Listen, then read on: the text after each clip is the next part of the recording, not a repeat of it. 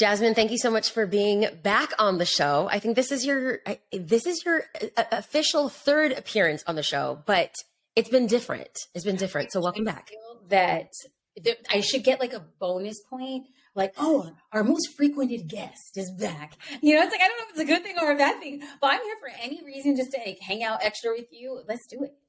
Oh, I love it. I love it. Okay. And so, and for those that don't watch the video of this, they're going to miss this important detail. I was intentional. I said, Jasmine always wears black. So I'm going to wear like a rosy color. Jasmine always does a side part in her hair. So I'm going to do a middle part. Then I get on and I'm looking at you. You are having like a dusty rose top and a middle part our our souls are twins. We try not to twin, and then we try not at the exact same times, and look what happens.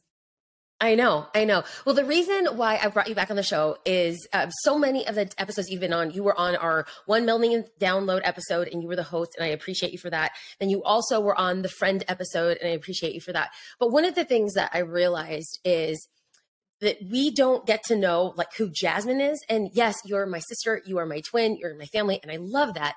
But there's so much more to you that I think that you would add such an amazing value to all of our listeners.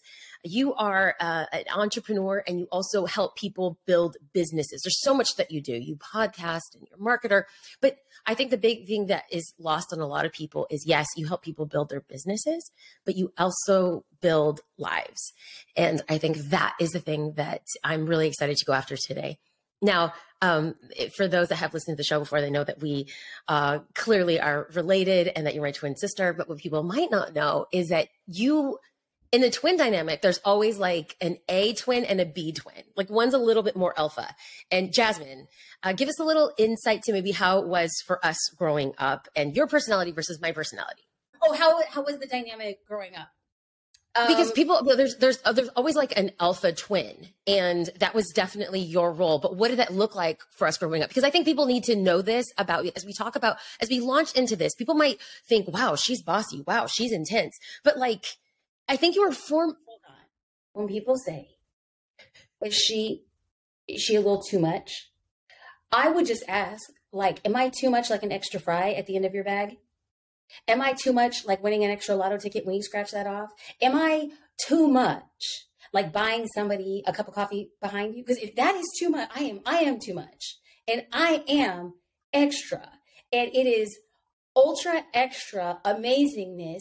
It, it's this walking around of this energy that I want everybody to, because for so long growing up, I like, I think maybe we both went through this, but it was this, I'll just say it for what it is like a self hate. Like we didn't learn how to even mm. like ourselves, much less love ourselves. And then mm-hmm. as we became older, and as we've just done like deep diving work, and as like just straight out, like in the word, like God loves us regardless of what it is we do or the decisions we make. It's like period. God loves us period. And I actually didn't think that I actually understood the power of like what it really really meant until I became a mom. Because there's quite honestly, and I know my daughter is 3 years old, but it's like she can't do anything to make me not love her. Like she just, it's going to be impossible. I will always love her. And seeing and feeling that I now have a deeper appreciation and like I feel fully indebted to God in a different way. And so uh, when I look back, like I love myself now. I love myself and I want other people to love themselves because for so long, I can speak for both of us, we were shackled of that. So that was a long st- st- way to get to a story I want to share, which is like describe us how we were kids. This happened hand to heaven. Yesterday, so our sisters we all just send memes and TikToks and reels in a private text thread. Now, this ain't public because if I'm on massage, she'd probably faint. Like Bianca would have to rise her up like Lazarus. So we send these terrible memes and videos to each other. Bianca, They're inappropriate, wildly inappropriate, Jasmine. I mean, yes. Yeah, yeah, it's just like, you know, it's like, Lord forgive us. And so Bianca sends a video with just one word and it just says Jasmine. And when I open the video, there is um, two sisters, and they're around the like they're around like the, the, the dining room table, and one sister is teaching the other sister how to speak. Like, hand me the red crayon, please. And the sister's trying to do it, and the other sister's finding like, no, no, no, you didn't say it right. You didn't say it right. And so finally, finally, after like 27 seconds of this girl struggling to say it right, she finally gets it out, and then the other sister says, no, you may not have the red crown. And then it was just like all of our sisters collectively agreed that I was the sister who was pushing for it has to be done this way. And then once you do it that way, I will finally give you an answer and it will likely not be the answer that you want. So yeah, like that is 100%. Jasmine, absolutely. Absolutely. In fact, um, there is a Spanish nickname that mom would give my sister Jasmine. And even to this day, my mom and dad still call Jasmine when she's being strong willed, when she's being bossy pants, or in her words, I'm like, not, and, I'm not bossy. I'm a boss. Bianca. I'm a boss. Okay, Beyonce, whatever.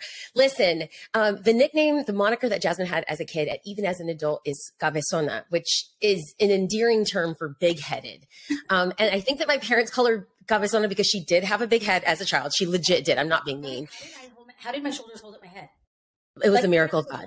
Like my parents were worried that I wouldn't be able to walk. I would just like topple over. But you were a strong willed child. And uh, I, it's safe to say that I wasn't. One of the things that I remember growing up as a child, like Jasmine would always stand up to my mom and dad, and she would always pop off. And then I would be the number two that would come in and say, I'm sorry for both of us. I would apologize. You did nothing wrong, but I you did nothing wrong. Hello, I am Pocahontas. Let me translate what is happening here. Okay, so I say all of that because I think it's just Wait, no, no, wait, hold on. You, you, you shared with the audience what mom and dad called me, cabezona. We should share with the audience what they called you, bocona bianca, because all you did was cry. And on the podcast, people are like, bocona bianca. Like, why don't we just start that hashtag? Because Bianca, like, you know, she's like, I just don't cry, I just cry. And it's like every other podcast episode, it's like, oh, sorry, hold on, hold on. you know what? I can't help but my feelings have feelings. Okay. So yes, Cabezona, bocona Bianca, you guys, for all the non-Spanish speakers out there, guess what? You were going to be bilingual by the end of this episode. But this is what I will say. This is what I'll say. I, I think growing up, I would look at Jasmine and say, wow, she's just fashioned like that. She's just, whether bossy or boss, that was just Jasmine. She was always the alpha. She always had an opinion. She was very direct. Um, I remember this. Uh, this is another story for another day. I might insert it as a as a, a, an aside in this podcast, but remind me, dear podcast listener, to tell you about the story where Jasmine pushed a boy who was a bully at church down and broke his arm. Okay, that should tell you everything about Jasmine. So no one should be surprised here when we discovered that Jasmine went to UCLA Law School, top ten law school, and Jazz, you had this pivot moment. So I think 15 law school. Like, let's just make sure that it's, let's just make sure. Well, hold on. Here's my hair. Can you split it? Yeah. Okay. Great. So like lawyers on the podcast would be like, no, it's not. So it's just like, let's just like, you know, fact check. Let's just fact check. But yes. okay. So your entire life, you have been a driver. You've been a pusher. Uh, you have been one to stand for justice and stand against injustice. And so here you are at law school. This is the epitome of so much that you you have worked hard for in undergrad and in high school. But then there's this pivot, and that pivot leads you to a different direction. For those that don't know our story, but specifically your story, I think it's weird talking to your twin because your story is a little bit of my story, but like your story is very different when you went to law school. So can we talk uh, about this like pivot moment that led you into a whole new direction in life? So uh, my our mom, our mom had a relapse with brain cancer during my one L. So law school is three years, and during my first year, my mom had a relapse, and it really forced me to reconcile the things that I wanted to do. That was also the first time in my life that I had struggled pretty strongly and significantly with depression. And it was then that i actually started like the unraveling of truly understanding like who i was as a person. I was 25 years old and i started to having like i started to make decisions on my own as an adult and pursue uh, medical care decide if i was going to get on medication. And navigating all of those feelings while watching mom be sick with cancer was a lot. And it was at the time that i was waking up at 3.30 in the morning I would go to the gym. I would run eight miles. My hair was falling out in clumps. I would cry because mom was sick and I hated law school. But I just thought, well, this is this is how we get out. Like this is how we move from East Los Angeles to West Los Angeles. Like this is how our family changes. And I think that was like a lot, a lot of a story I was choosing to tell myself that was perpetually keeping me sad and disappointed and upset. So I quit law school. I moved back home, and it's at this time that you are pursuing your master's degree. So much to probably the family chagrin, we're all under the same house again. All five children. We are now, we are like, we are grown women. Like, we should, for all intents and purposes, for anybody who's not Latino, people would be like, well, why didn't you just get your own apartment? And I'm like, mm, I'm sorry. Like culturally, you just do that. We don't do that. Like we don't do that. We're like, Dad, what do you? Oh, what do you want for breakfast? Okay, you're making dinner? Okay, I'll go to the store. It's like it becomes very. It's very tribal, and for people who don't understand it, it's it it sounds and probably looks very weird, but for us, it was really really normal. And so Bianca and I are back home and Bianca, at the time, you know, she's pr- pursuing her master's. She is serving at church. She's working in the high school ministry. She is the glowing beacon of a child that every parent wants. So, I mean, here, that's just the difference. That is truly the difference between my sister and I. Is that like I would give my my parents a go. I, I would just, I don't even intend to, but it's just I never accept things as they are. I always ask, well, why? And I think that living with another adult who's always asking why, and it's like, I'm driving my Honda Accord, I'm pinching every penny together. I don't know what I'm doing with my life. And uh, my high school sweetheart decides to propose, and Bianca was the best, best, best non maid of honor. I didn't have a bridal party, but Bianca prepared everything. She put it in my now husband's car. He took us, to, he took me to the beach, proposed, and then I was like, "Oh, we're gonna go out to dinner," and I'm like jeans and a sweatshirt and without a manicure. So note any man of God who's about to propose, make sure that somebody in that girl's life can give your girl a manicure. And uh, Bianca had prepared all of my clothes. So we go to dinner and we plan a wedding in less than three months. And then I come back and I don't want to go back to law school. And this is the first time in my entire life, I'm 25 years old, that I'm forced to make an adult decision. What is the thing I'm intended to do? And I think it was around this time that I really started deep diving with uh, God's will and my will and um, you know, for all intents and purposes, to be very honest, Bianca, you played a big role in always like making sure that it was like foundational. Like I was rooted in making sure that like I wasn't making a decision on my own. I was making a decision of something that God had wanted for me, which still to this day, quite honestly, a couple weeks ago, we had that exact same conversation. So I listened to your podcast and it's a great podcast by the way. And you recently did an episode and we were talking you guys started talking about this concept of mindset and you said you know i grew up with a fixed mindset and i literally laughed out loud. I don't think you give yourself enough credit but you had quoted a book by dr carol dweck and as an outsider looking in i simply thought that somebody like you was prone to success. So we can chart this back to childhood um, there was always something about you that was just wired to succeed and wired to achieve.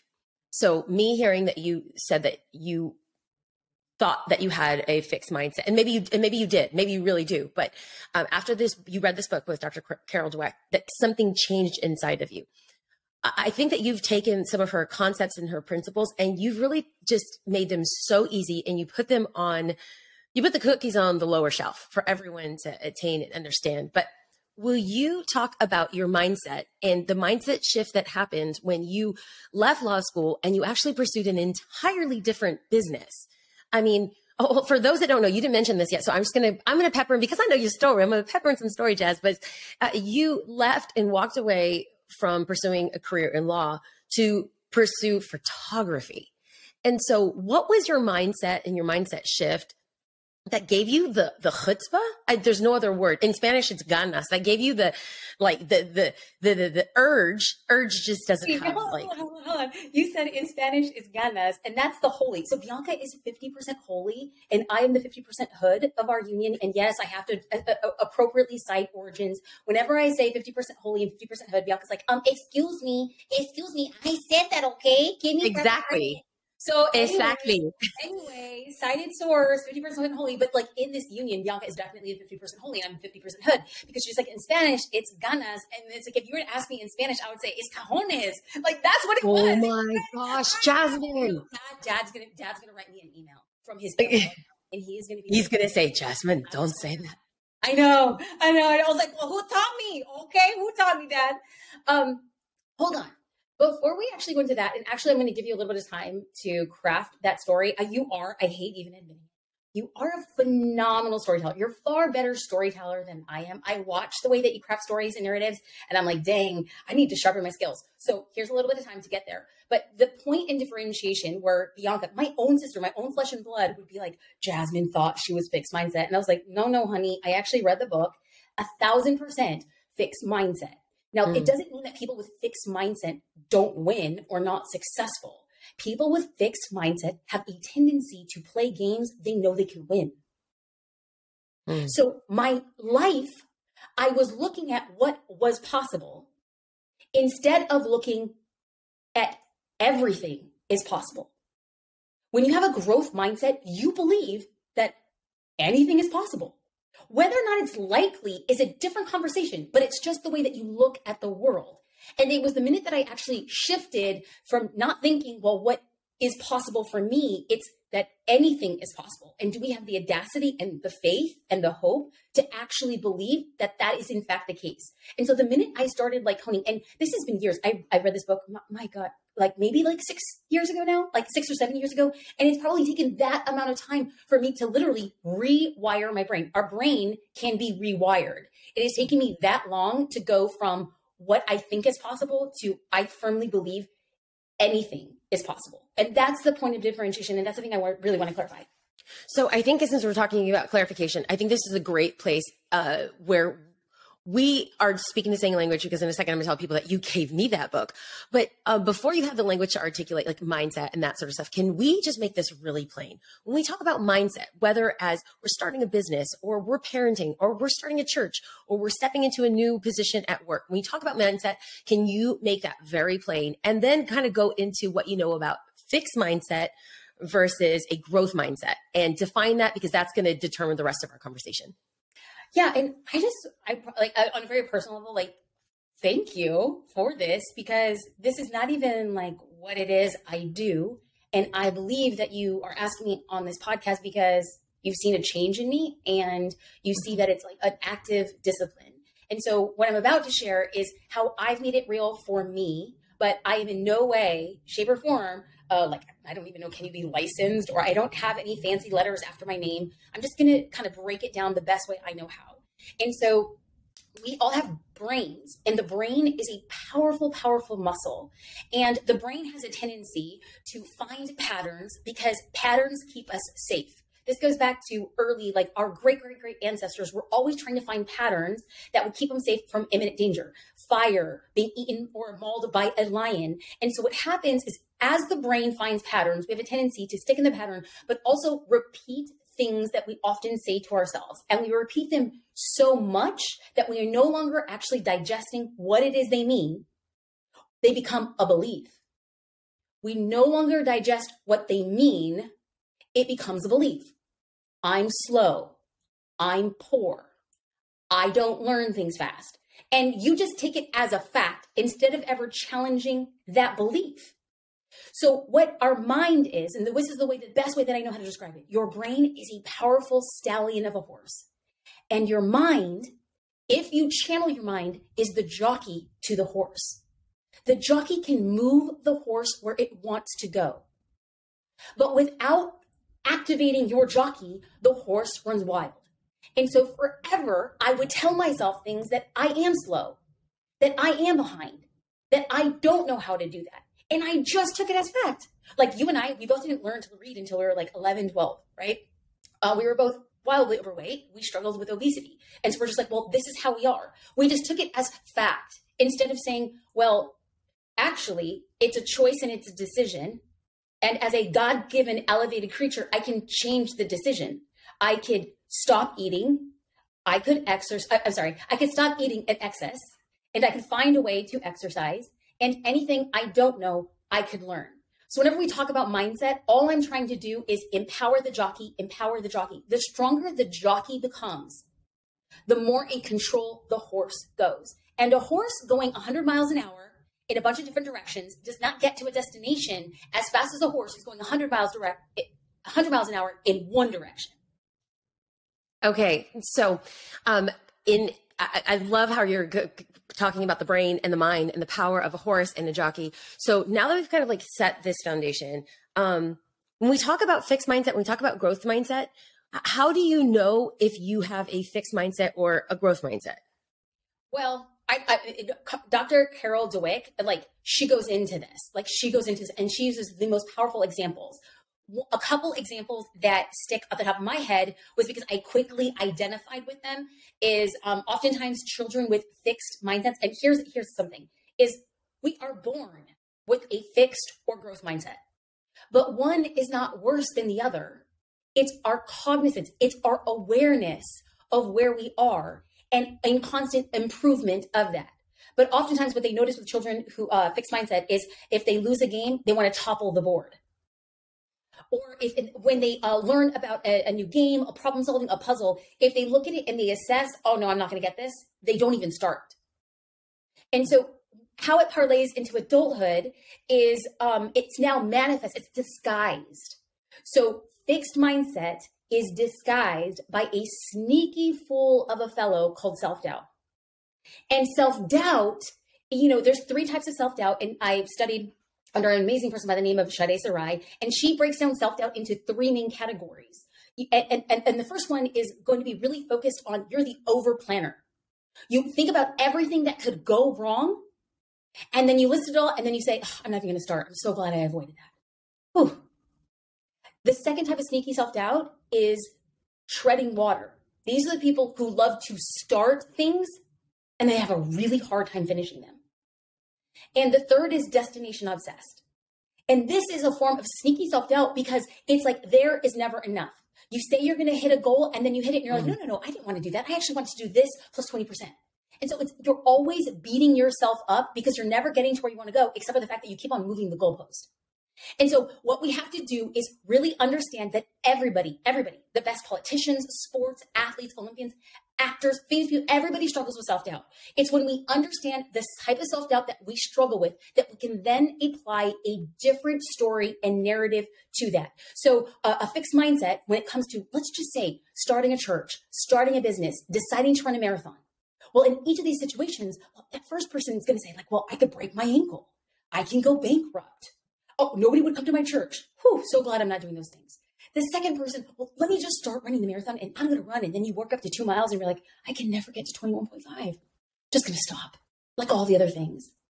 You start with the Bible study and then you get frustrated that only 10 people are coming when you really imagine that there'll be 200 people coming. And the destination obsessed is like you're training for a marathon and you complete the marathon and you're like, you want to know what? This is like local marathon. I'm only going to run a marathon in New York City because that's the only time that it matters. And then you get to New York City and then you're like, actually, it was the Ironman. I was supposed to do the Ironman. So in all of these situations, what we need to say is everything we're going through is preparing us for the thing we want and the person we're supposed to become. Okay, so I want to pause and I want to breathe because this is a lot of information and someone out there no, it's so good. I mean, this is Jasmine. When I say that you help people, you know, change their businesses, I'm going to just, I'm going to tell myself for a second. When I say that you help people change their lives, you literally, uh, you're seven years into kind of processing our mindsets and, and helping people along the way, but you called me out on this. And I think I know for beyond a shadow of a doubt, I have fixed mindset, 1000%, because I'm just kind of in this as a Christian. If we speak about sovereignty, which is the con- complete sovereign control of God that he has over our lives, I'm just like, well, it's his will. Kesara Sarah, it is what it is. So for someone out there that just feels like, oh, this is my lot in life. What do you say to that person? And the reason why I'm talking to you about this is because because of daddy, daddy's a, a preacher and a pastor. We he's taught through the book of the Bible, gosh, I think over 16 times, line by line, chapter by chapter, and book by book. We have been rooted in the word of God where we believe in the sovereignty of God, that he is in control of all. But at the same time, do we just acquiesce and throw up our hands and say, this is my lot in life? For the business person out there, for the stay at home mom, for the student that just feels like, well, this is it. What do you tell them? Ooh, girl, I'm going to get to second base in Bible baseball because I'm about to bring up the parable of the, I, I, I, now I look at me, look at pride comes before a, fall, a fall, because my mind just went dumb blank. The parable of the. What would you like me to tell you, Jasmine? Because as a Bible scholar, Bianca, I will. I refuse. I refuse. I'm just. I'm gonna flail here for a second because the word will come to me. No, it's the parable of the talents, where the servant, I mean, where the master leaves three servants, and they all have uh, talents. One servant hides the talents. Another servant puts the talents away and saves them and gets interest. And the third invests the talents and gets back more than the master had left him. In each of those, all three of the servants had the ability to say, Oh, it's master sovereignty. I have my 10 talents. We were all given the same thing. There are other people who will be taking the same thing that you have been given.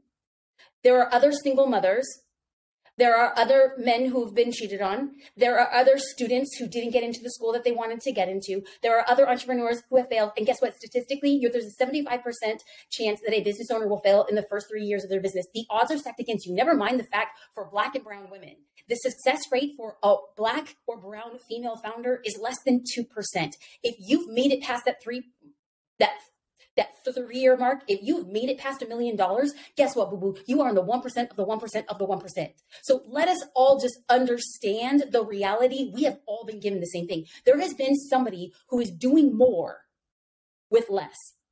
It is the parable of the talents, and we can mm. choose to say, Am I going to take some risks? Am I going to try to work within my domain?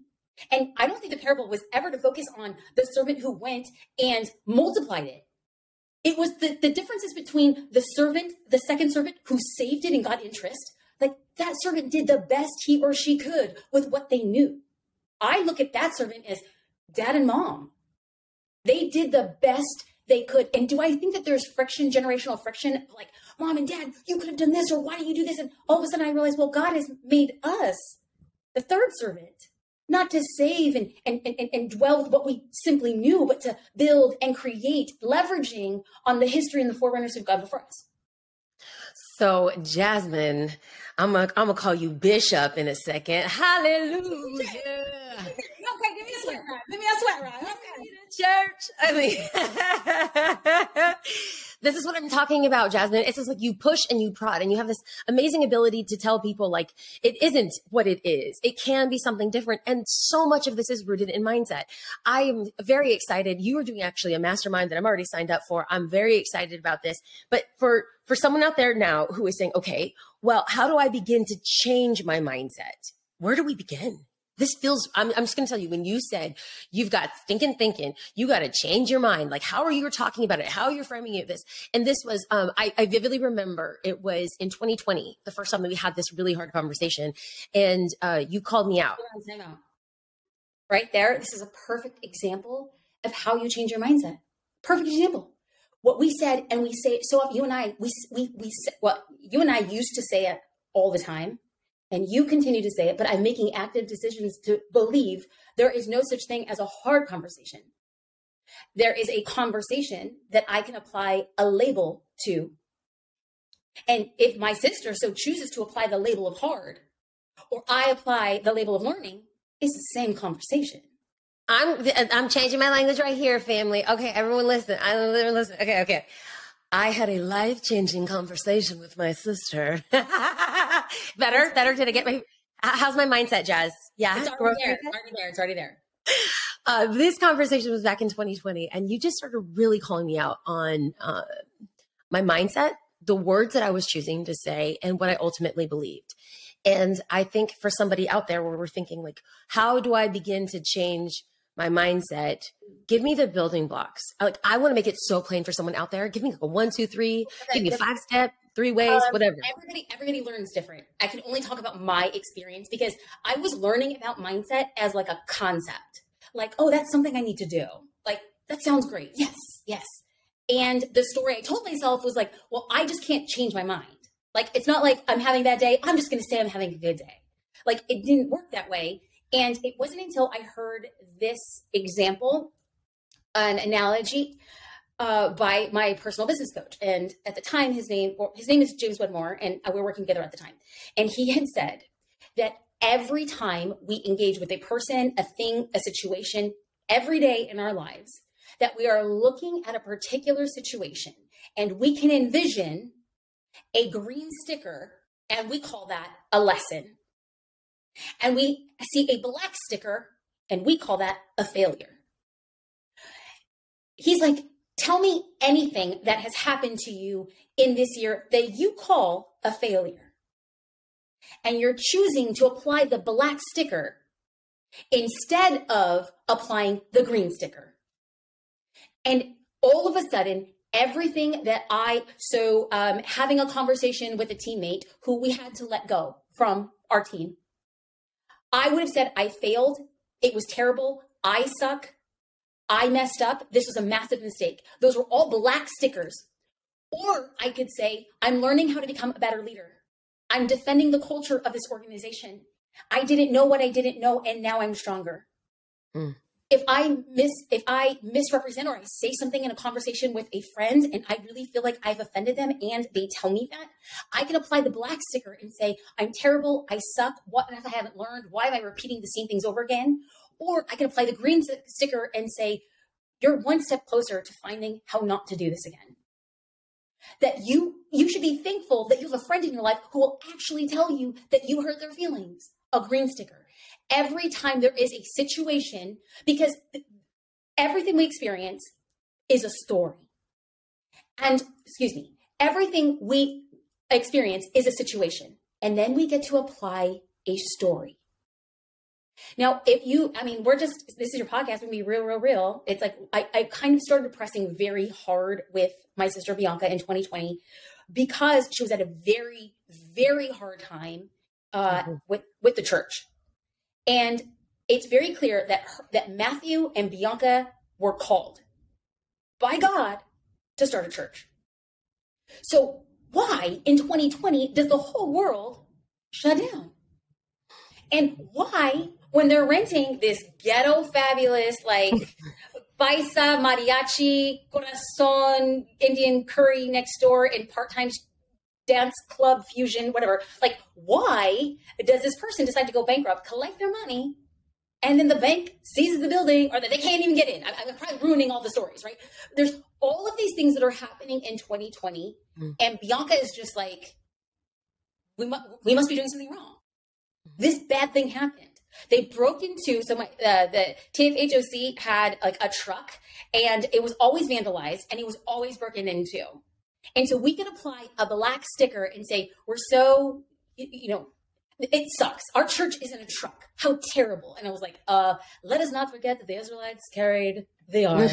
and so there's that. Okay. So you have nothing to hold that to. And like there's vandalism. And you could say, oh, we're so like we should have put it behind a gate. We should have had it along with all these things. Or you could just say, and this is the hard part.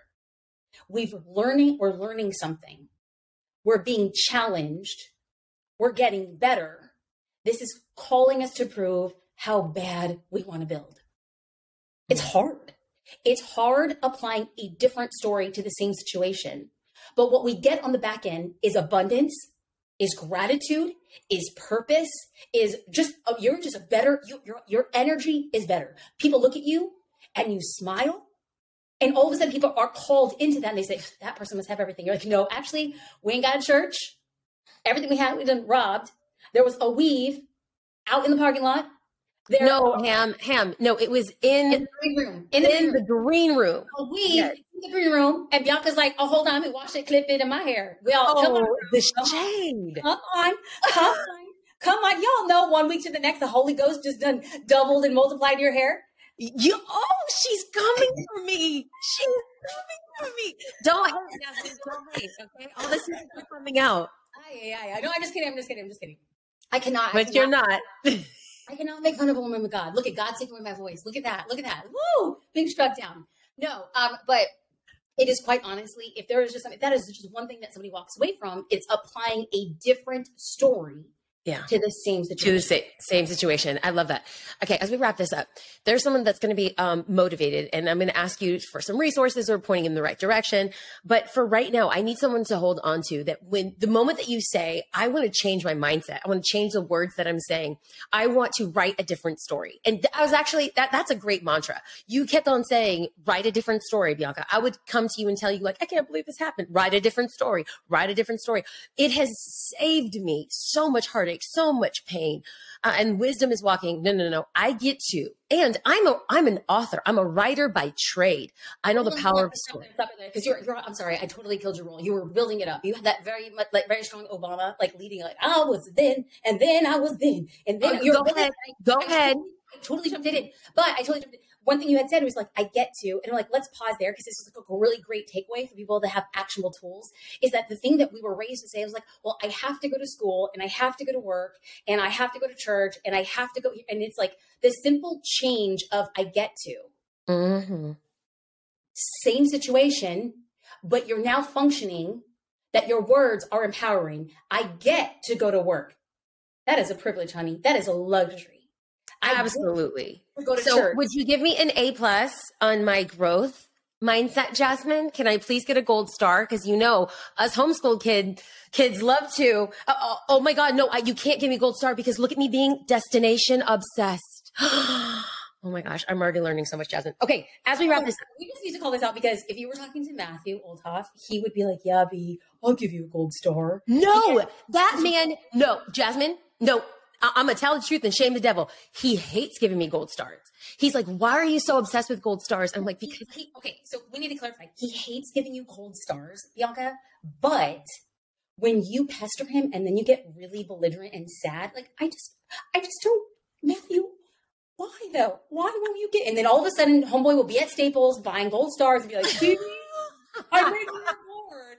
And you're like, no, no, no, no, Rosie Perez, I want you to look at me and say, "I too, I too." like, Feels like- want a gold star." yes, like okay, okay, but it's changing. It's changing that. And one more, and one more tool before before we we like that that lead up that you were leading to. And I'm so sorry, but I'm like, oh, I gotta stop. Is I get to, and then adding yet to any sentence that felt honey, or sounds limiting.